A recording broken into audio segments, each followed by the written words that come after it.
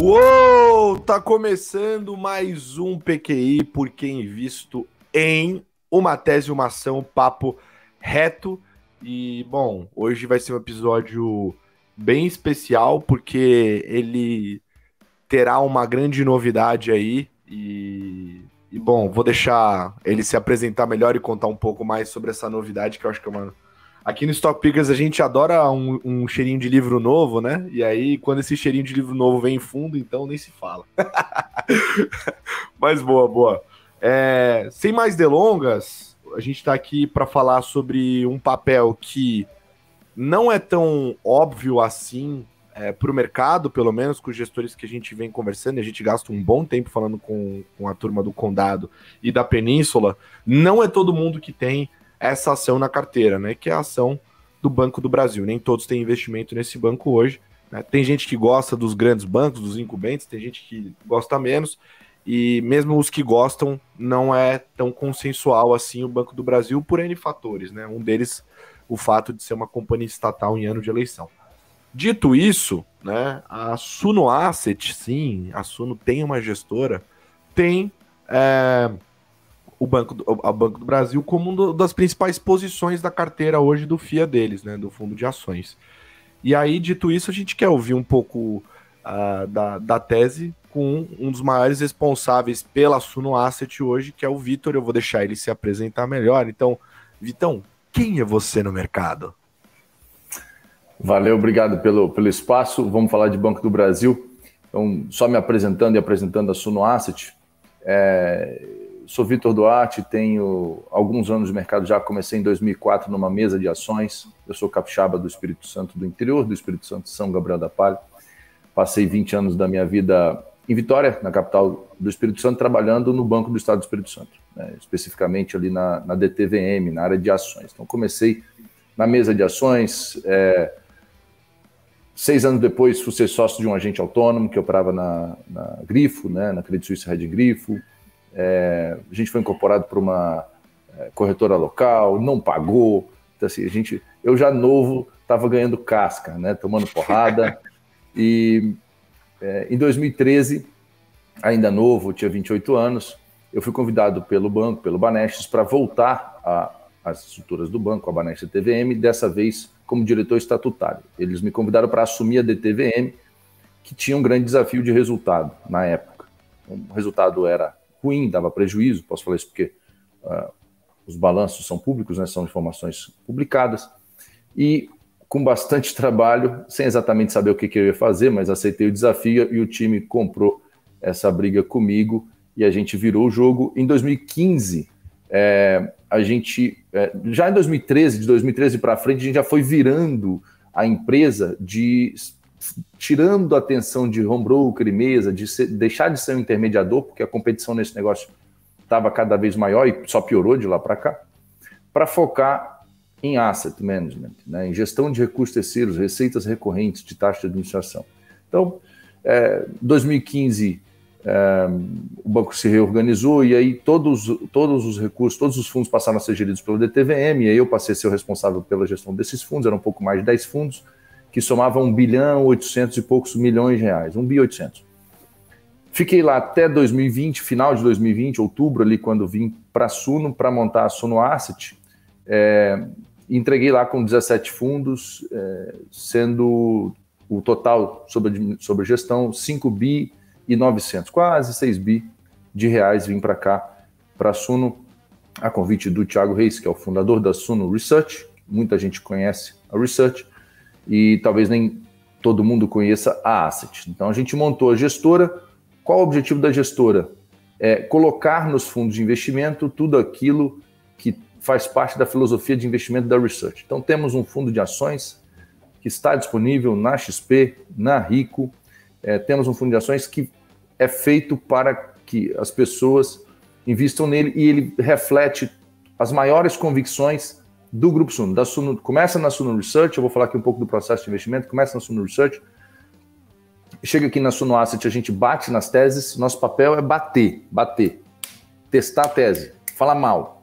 Ah, mas esse problema, ah, Banco do Brasil, é estatal. Ah, e se o governo fizer isso? Ah, mas esse valor não vai destravar nunca. A gente bate, bate, bate, para ver se para de pé. parou de pé, está firme, o negócio está muito barato. O equilíbrio risco-retorno é muito interessante? É, esse negócio é bom, bota na carteira do FIA. Então, assim funciona o nosso processo. Então, é, e Banco do Brasil é uma, é uma posição relevante hoje no fundo. A gente acredita bastante, vamos falar aqui é, é, um pouco do porquê né, que a gente acredita em Banco do Brasil. É, comparando com Itaú, comparando com Bradesco, comparando com os Inter, uh, Nubank e, e, e, novos entrantes. É, basicamente, eu já vou responder aqui, vou dar resposta, vou começar pelo final, né? Preço, né? Preço, sim. Usando uma cola aqui, estou olhando para o lado, o Banco do Brasil está negociado a 0,63 do valor patrimonial. Né? Então, imagina que o Banco do Brasil tenha 100 reais lá dentro de patrimônio líquido. Então ele tem, ele tem 200 reais de, de ativo total, 100 reais são depósito de pessoas, então é dinheiro de terceiros, sobrou 100 reais para ele, então ele está valendo agora 63 reais. Uma nota de 100 está valendo 63 reais. Basicamente é por isso que a gente é, né, olhando, isso chama atenção. Óbvio que você não pode comprar só por isso, só por PVP, porque é um, o indicador ele indica, né? ele não conclui. Né? A conclusão é, é, é, baseada depois de ler vários indicadores, estudar o case, e aí sim a gente conclui, cara, esse negócio é, vale bastante. Então, acho que como apresentação minha, da casa, do fundo e, e, e a pequena introdução de Banco do Brasil é isso. Assim. Vamos entrando aqui em, em, cada um dos pontos, mas como fala inicial, tá, tá valendo. Boa, muito bom. É... Eu acho legal isso porque, bom, tem muita gente que, principalmente os investidores pessoa física, né, gostam bastante da Suno. Acho que tem um fundo legal também é que muitas vezes a pessoa ali quer uma praticidade a mais, o, o fundo acaba trazendo isso também, que é super, super interessante para a galera aí. Foi para isso que ele foi montado. É, a research continua do mesmo jeito, que ela falou assim: ah, Perfeito. não, eu gosto de ler o relatório e fazer. Cara, legal, continua do mesmo jeito, não mudou nada para você.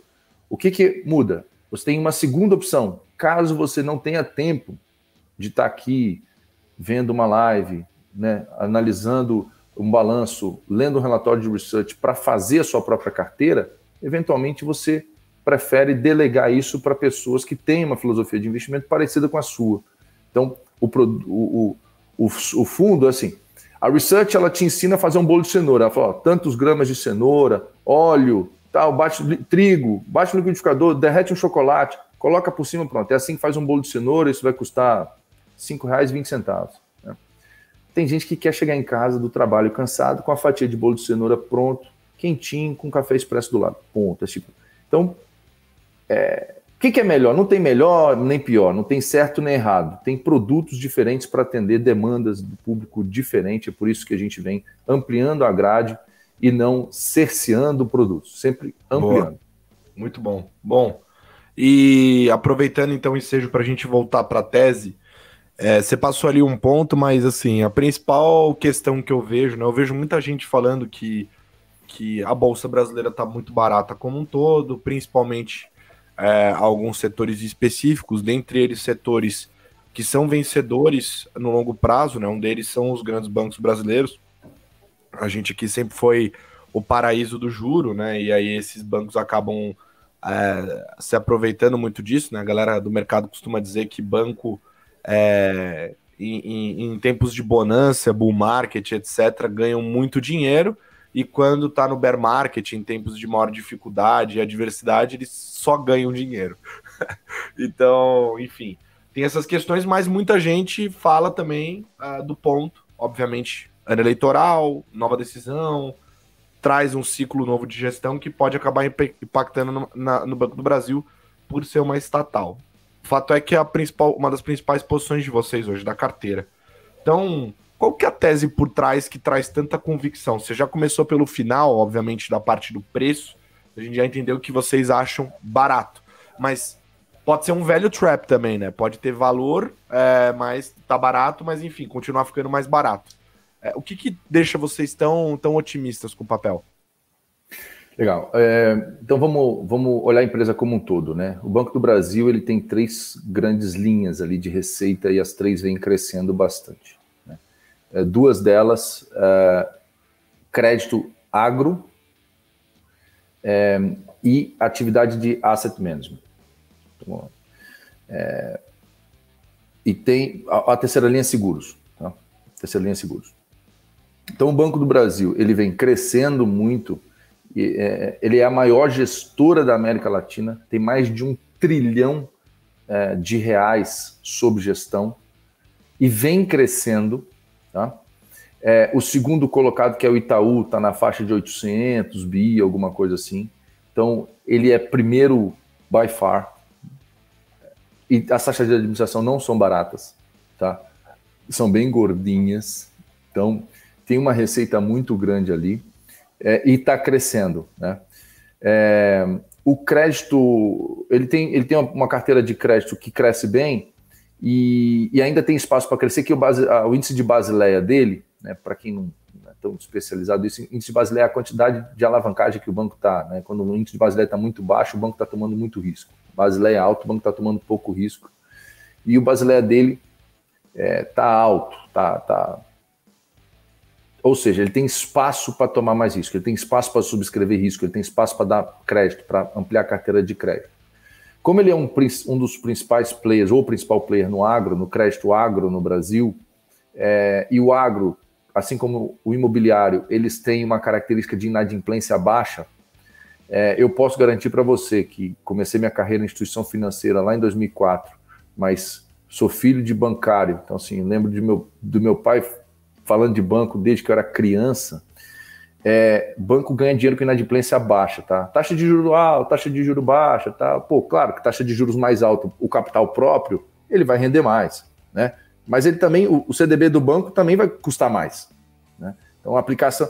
Então, o, o que importa é o spread bancário, e o spread bancário é muito batido pela inadimplência. Quando você tem inadimplência, você empresta para o cara, o cara não paga, isso é muito caro.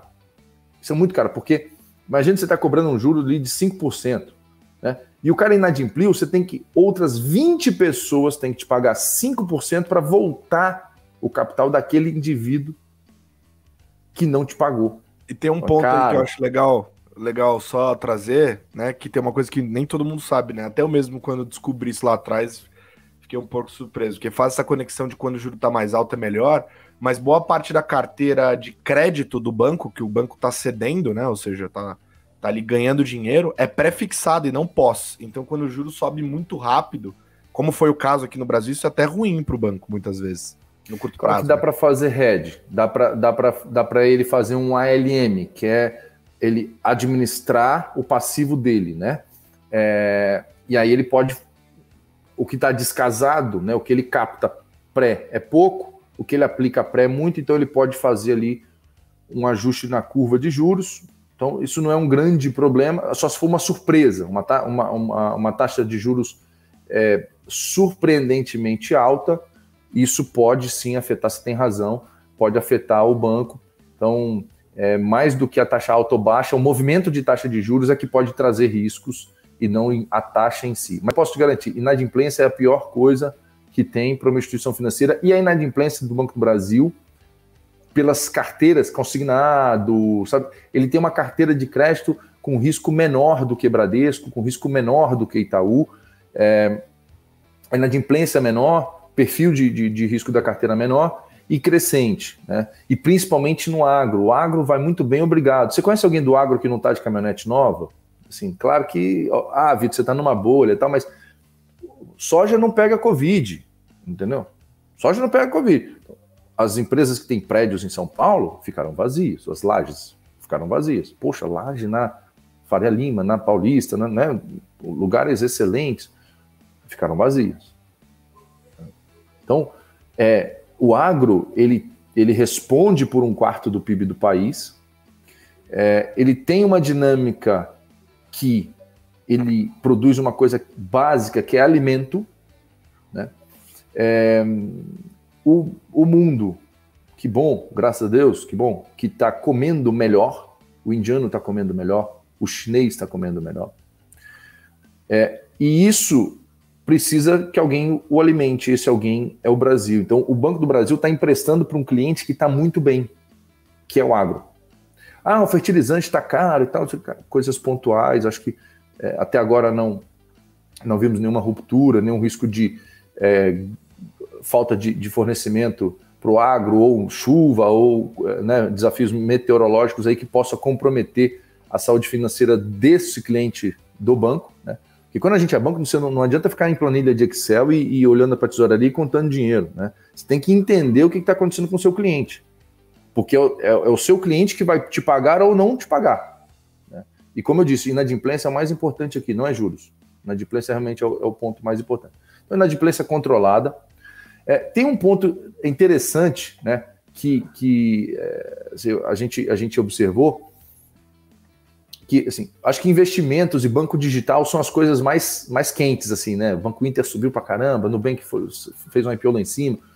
Eu acho que é, é, é, é BTG XP crescendo muito, né? As ações se valorizaram muito porque estão na área de investimentos, é, é, alguns são bancos digitais, ou ensaiando um pezinho em banco digital, são, são áreas que chamam atenção. A gente observou é, que o aplicativo do Banco do Brasil ele é muito bem avaliado por quem interessa, que é o usuário. Né? Então, é um aplicativo que tem nota 4.7 com 2 milhões e meio de classificações. O Nubank agora melhorou, está 4.8, mas até pouco tempo atrás a nota do Nubank era 4.5 com menos de 700 mil avaliações. Então, olha só, o Nubank, que é a fintech queridinha, tal, com múltiplo absurdamente alto, tinha uma nota menor do que do, do Banco do Brasil, com uma avaliação no número de pessoas menor. Banco do Brasil uma nota maior. Quando você tem muita gente, quando é só sua mãe e tua mulher te avaliando, de repente a nota vai ser alta. Mas quando 2 milhões de pessoas te avaliam, beleza, aí vai refletir de fato a tua nota. Então o Banco do Brasil mais de 2 milhões e 600 mil avaliações, uma nota de 4,7. Então, o banco digital do Brasil é um bom banco na avaliação do usuário, na avaliação de quem importa, que é quem usa o banco. Então, é, como o banco digital então vai bem, ah, ele tem agências, ele, é ele, ele, ele, ele é o desenhado antigo, é, sim, mas funciona dentro do, do que os, do que os é, clientes precisam, ele funciona, senão o aplicativo não seria tão bem avaliado, tá? Acho que assim, tem vários pontos aqui, assim, é, é, é, é mas basicamente inadimplência controlada pelo perfil de risco das carteiras, é, está em linhas que crescem e tem ganhado market share em cada um dos pontos com margem. Então, isso mostra a saúde da empresa? É, e o preço está ridiculamente barato, foi o que eu falei no final, mas mesmo que seja um value trap, né, uma armadilha de valor aqui, é, o que ele está botando para fora de dividendos, a ação pode ir a zero, não tem problema. O que ele está botando para fora de dividendos, nos, o que ele vai botar para fora nos próximos quatro anos, né, é, não necessariamente ele distribui todo o lucro em dividendos, mas o que ele deve gerar de lucro nos próximos quatro anos, ele paga o valor de volta da ação. Então, é, isso na banda mais conservadora do guidance. Né? Ele, ele falou assim: ó, vou lucrar de X a Y. Se ele lucrar aqui na parte de baixo, tá quatro vezes lucro. Se ele é, lucrar na parte de cima, tá 3,6. Deixa eu pegar aqui. 3,3,5, vai. 3,6 vezes lucro. Então, é... Ah, mas a ação não vai subir porque ano eleitoral. Não tem problema, a gente compra ativos que têm um fluxo de caixa interessante. Então, o fluxo de caixa vai voltar. Né? Seja via dividendos, seja aumento é, da carteira do banco, e aí aumenta os investimentos e, e, aumenta o lucro no próximo ano, né? Um, aquela bola de neve que faz é, o valor dos ativos é, crescer. Boa, mas. Eu não falei, é... eu não é. falei bem de riscos, eu acho que você, é, faltou é. essa bola aí, né? Porque senão fica só um céu de brigadeiro, né? Mas a gente sabe que, principalmente na posição de vocês como gestor, né? É, é vocês são pagos no fim do dia para mudar de ideia, né? Então, o que que faria vocês mudar a cabeça em relação a, a esse ativo? É, eu vou falar o que faria a gente mudar e, e um mitigador disso. É, e se o banco começar assim, não cuidar da inadimplência, dar crédito de qualquer jeito, é, isso muda o jogo, porque não adianta você é, ter uma nota de 100 lá negociada por 60 se o cara perde 50 reais lá. Então, aí, aí aquela nota de. Você comprou por 63, a nota já vale 50, se ele perdeu metade, né? Se o banco quebrar, vale zero. Né? Então, uma administração é, desastrosa, uma administração orientada é, para objetivos que não é, a saúde da empresa, a rentabilidade da empresa, pode fazer a gente mudar de ideia. Hoje, a gente não vê isso. É, e uma coisa que ajudou bastante foi a lei das estatais, 13303. Né? Na época que essa lei foi editada, eu era um diretor estatutário de uma empresa de capital misto igual ao Banco do Brasil. Eu era diretor estatutário da Banestia TVM, empresa de capital misto listada em bolsa, óbvio que pequena, não, não tem a mesma liquidez que o Banco do Brasil, não tem a mesma robustez, tem, é mais frágil e tal. É, então, é, o, o, que vale para o diretor da Petrobras, vale para o diretor do Banco do Brasil, valia para mim lá como diretor do Banestia. E eu lembro na época que era, eu, eu achava aquilo muito exagerado, sabe? Um, um nível de burocracia. Falei, gente, para que isso? Estão exagerando, porque o cara roubou lá na Petrobras agora eu aqui tenho que fazer esse monte de coisa para cumprir é, um, um, papel que, que a lei exige dos administradores de empresas públicas. Então, a pessoa que está ali tendo que cumprir é chato. Né? É bem chato. Só que protege muito. Protege. Então, assim, é, é, é, como você tinha um carro sem freio e agora instalaram um freio. Né? Você fala, pô, freio vai parar, depois vou ter que acelerar de novo e tal, mas ninguém faz curva sem freio. E se o carro não tiver freio, você não vai poder acelerar, você vai ter que ir devagarzinho, porque você não sabe qual obstáculo que vai ter ali na frente. Então, com o pedal de freio, você pode usar o pedal de acelerador porque quando você precisar do freio, você vai frear. E o Banco do Brasil tem comitê para tudo. Então é difícil uma interferência no Banco do Brasil, é, como a gente já. A, a, mesmo nos governos que, que, que, antes da lei das estatais, mesmo nos governos que tinham uma, uma influência maior, é, o Banco do Brasil se manteve saudável. O Banco do Brasil aumentou a exposição de crédito no mercado local e tal, mas dentro das políticas, com comitês, e, então é difícil é, vir uma coisa muito top-down e, e, mudar completamente a instituição. É, é, uma instituição muito conectada com o mercado de capitais, é, muito tradicional nesse sentido. Então a gente vê o risco de ingerência política que existe, tá? Existe, é uma estatal, por isso merece um desconto, não tem que ser tradado no mesmo par, no, no, nos mesmos preços de, de Itaú e, e, Bradesco, não tem que ser tradado, mas é, a gente acha que tem é, controle o suficiente, tem governança o suficiente, e aí a gente vai olhar tamanho de desconto. Hoje o Bradesco e, o Itaú estão sendo negociados a uma vez e 1.4, 1.2 é, vezes book, né? preço sobre o valor patrimonial. E o Banco do Brasil é 0,63. Poxa, será que a diferença tem que ser essa? Será que o Banco do Brasil não poderia subir esse 0,63 para 0,90? Né? Ou 1 para 1? E deixa o Bradesco a 1. Ponto, deixa o Itaú a 1,4, deixa o Bradesco a 1,2. Né? Mas talvez a diferença esteja maior do que deveria ser. Né? É, e aí não dá nem para comparar múltiplo de, de, de, fintech, porque não, não, não, é outro bicho. Não tem nada a ver aqui Banco Inter, é, é, Nubank, não dá, não dá para comparar. É, deu para perceber que é uma tese mais lúcida e na, op na opinião de vocês, né?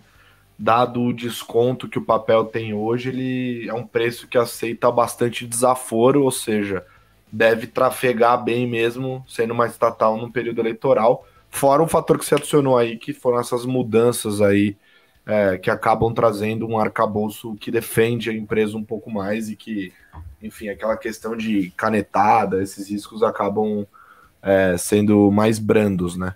Você já se perguntou por que, que o preço da gasolina não caiu tendo, sei lá, quantas trocas de presidentes a Petrobras teve nos últimos meses? Quantas trocas foram? Nem sei, perdi o te... perdi a conta. Cinco vezes, quatro, sete é. vezes.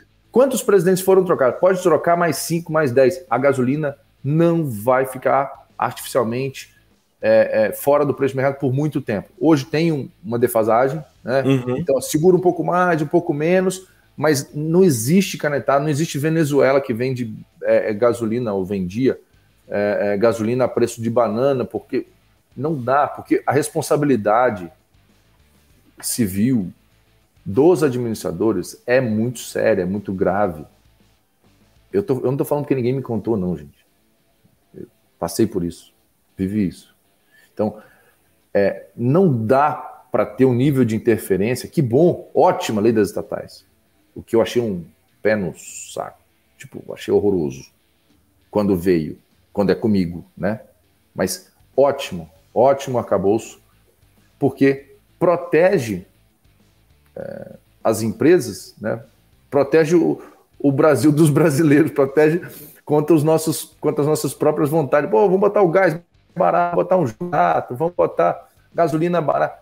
Esse populismo, é, que a gente sabe que o, o final dessa história qual é, né? É escassez, é, é, é é mercado paralelo. É, é... Então, o, o, final dessa história a gente já conhece que é horroroso, a gente se protege de nós mesmos. Então, eu acho que os riscos existem, é uma estatal, é um ano de eleição, mas os preços estão é, ridiculamente descontados e se você olhar o fluxo de caixa dessas empresas, mesmo que o preço não vai, ah, não vai entrar nenhum gringo aqui com coragem de comprar Petrobras, Banco do Brasil tudo bem. Se não, ninguém tiver coragem de comprar, a gente segura esse papel nesse preço e vai recebendo os dividendos e estaremos satisfeitos. Perfeito, bem clara a mensagem final aí, da, eh, acho que esclarece bem a tese é, de Banco do Brasil do lado da Suno Asset. Muito bom, muito bom. E o fundo, então, né, só fundo disponível tanto na plataforma da XP quanto da Rico. Novidade bem bacana que a Suno Asset está trazendo para o mercado. Vitor é um dos grandes responsáveis ali, gestor do fundo, e com certeza absoluta vai voltar mais vezes aqui nos programas do Stock Pickers para bater uma bola com a gente sobre o mercado. Que a gente gosta da Suna, que não tem papa na língua, não tem mureta, vem aqui e fala mesmo que acha, assim que a gente gosta. Bom, é, elucida a cabeça. Boa. Boa. Vitão, muito obrigado por aceitar participar do, do PQI. Foi um prazer receber você aqui para ouvir um pouco da tese de vocês de Banco do Brasil. Uh, o PQI vai ficando por aqui toda semana, quarta-feira, ao vivo aqui no YouTube do Stock Pickers e uh, às 18 horas, é importante falar o horário, e também nas plataformas de podcast stream. Uh, a gente está em todas, então não deixa de seguir a gente aí na plataforma de streaming que você prefere. Ativa o sininho para você receber todas as notificações quando a gente soltar programa novo. O mesmo vale aqui para o YouTube. Deixa seu like no vídeo também, que ajuda demais. A gente vai ficando por aqui. Semana que vem tem mais. Um beijo. Tchau!